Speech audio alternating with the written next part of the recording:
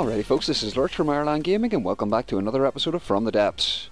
This is the Axion. Now I built this a few months ago and it was one of the very first large ships that I built. I decided to do something a little bit different with it. The Axion has no visible weapons when out of combat. They're all embedded in the hull and spring into action whenever enemies come into range.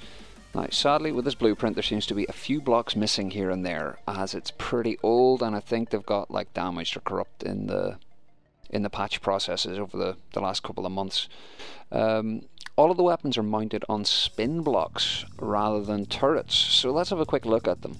This one on the front is uh, one of the old custom cannons, and you can see the barrel mounted in the hull here. And this is just an armor, uh, like uh, shell on the front to cover it up whenever it's popped out of the hull. I'll show little bits. Uh, there'll be little videos popping up on screen here to show these guys in action. And uh, this is the internals of the thing. Like I say, there seems to be a couple of blocks missing here. But uh, yeah, with the spin block weapons, you have to put the local weapon controller on the turret or on the spin block rather than on like a turret thing. So this is the front cannons and they pop up nicely. They've got a lovely armored shield on the top of them that prevents them from taking damage while they're underneath. Let's move on to the next weapon system. This here is what I call the Scorpion Missile Array, because of the big taily thing at the back. And uh, this guy is quite a big missile rack. It's a short range missile rack. It's configured to pop up whenever it's only like four or five hundred meters away from the target and is typically for anti-air targets. But yeah, it's a big ass missile rack and it just pops up via a spin block mounted up here. There it is there. These ACB's controller. Next we have these side-mounted cannons, which are literally a prefab of the front one, only with the barrels cut down to size. And this let me fit it into the hull at the side here. Uh, there's uh, not a huge pile of room there uh, because of the width of the hull. Obviously, the boat is longer than it is wide, but this is the box that contains it, and this rotates upwards and spins out of the hull and lets you blow crap up with it. This is just a little room on the inside. It's an AI box there. A uh, couple of little compartments for stuff back into the front. Next is these big fellas at the back. Now they're just not big boxes or huts. There's a massive missile array in these guys, and these are big, huge ass cruise missiles. A whole bunch of those. And this is slightly different to the other ones in that the the door here, this is a big door on a separate spin block that rotates upwards and fills into this gap.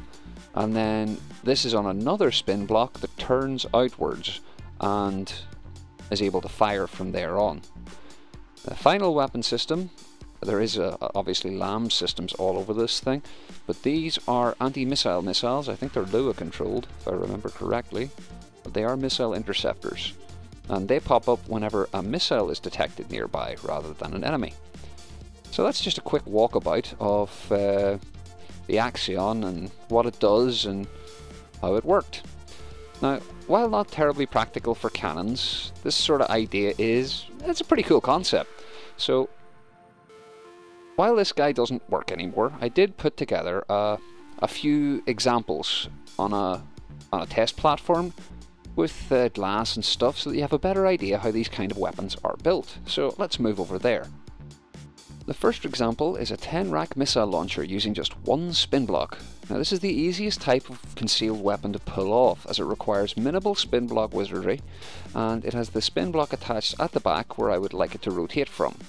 The two ACBs below control when it pops up and down. Now, as this is a spin block and not a turret, in every example I have the local weapon controller on the spin block and attached to the relevant weapon component.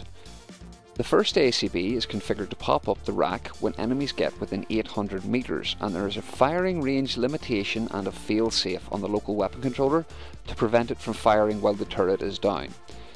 This helps reduce the risk of the weapon firing while recessed and blowing a big hole in your hull. The angle that you set this ACB to is entirely dependent on the weapon you are building, so 15 here, different in other scenarios. The second ACB is set to reset the spin block to zero after a few seconds. It should be configured like that. It's also worthwhile to put a 1 second effect delay on this to stop the turret popping up and down during combat. Now it will override it, but it just it looks a bit janky. If you're using multiple concealed weapons like this, you can use just one of these ACBs without a range limitation to control all the spin blocks on the ship, rather than using one for each weapon. Just remember though that this makes it tricky to use other spin blocks in the craft as it will interfere with them.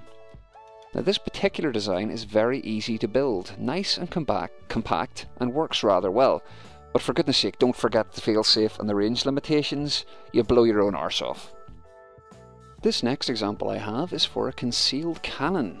And I'm just going to put this out there now. These things are a pain in the ass to build, they have extremely limited fire arc, and they are riddled with a bunch of other small problems that often lead to big gaping holes in your hull. You have been warned. The biggest problem of all is, though, they look so damn cool. These sort of cannons are only really useful as a broadside cannon, and having to hide the barrel is very difficult if it's really long so you're also limited in your shell choice. This particular cannon is a heavily stripped down version of Ruger's 250mm mortar. I've added two interlocking doors on the top to hide the barrel, but there are a number of other ways to do this, and remember to leave clearance at the side for your spin blocks to rotate, especially if you want to armour the spin block itself, and this is often rather fiddly.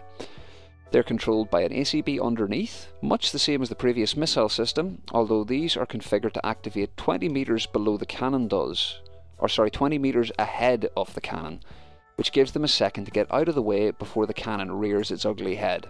Now this is purely cosmetic as things on spin blocks will clip through each other anyway. At 800 metres, the cannon pops up, and if you choose to make one of these, giving your weapon the clearance to shoot is by far the most difficult part, there's quite a lot of space underneath this cannon, but it's actually required so that it can turn to a high enough angle to fire without damaging the hull. Not only do mortars normally require a shorter barrel, making them ideal for this purpose, they also have a high firing arc, allowing you to get a clear shot with this kind of weapon. This example is for another missile system, very similar to the first one, but much larger and with a second spin block controlling the front door. The first section is mostly cosmetic, but rotating it slightly out of the way gives us a little bit more clearance in front of the weapon and allows a lower rotation angle on the other spin block.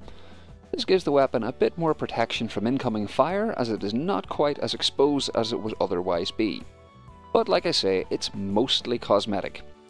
Again, the front door is triggered to open 20 metres before the missile rack pops up, allowing it time to get out of the way and has a fail-safe and limitations set on the firing controller to stop any unwanted explosions. The final example I have here is a simple side-mounted torpedo bay. Now you could expand this vertically very very easily. This is more or less the same as the doors from the cannon example, but shows off a method of armouring the spin block.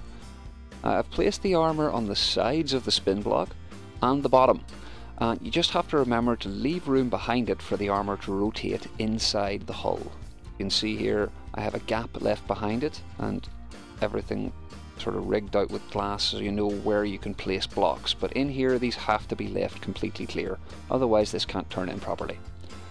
Again this uses the same configuration as the previous weapons using an ACB to rotate the spin block when an enemy comes into range. If you're using a torpedo system like this though I recommend an ejector to clear it from the hull and a one turn to get it on target before it hits the water because you can't rotate them to their correct angle already. These types of weapon are largely quite impractical and have more of a place in a cosmetic build than in an efficient one. But with the changing landscape of combat effectiveness in this game, they may very well become useful in the future.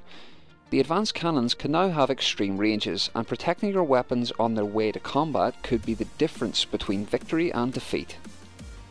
I hope you enjoyed the video. Any likes, subs or comments are really really awesome. I love hearing from you guys and I read every single comment. As always, take it handy and have a bloody good day.